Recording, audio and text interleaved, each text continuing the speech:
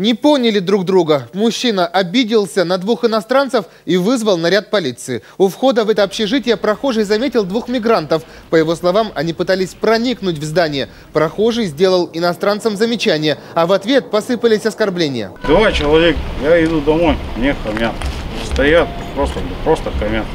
Приезду оперативников один из гастарбайтеров скрылся, а второго, гражданина Армении, задержали полицейские. Стражам порядка он объяснил, хулиганить вовсе не хотел. Якобы мужчина ждал у общежития товарища, а не трезвый прохожий вдруг стал угрожать. Теперь иностранцу придется писать объяснительную.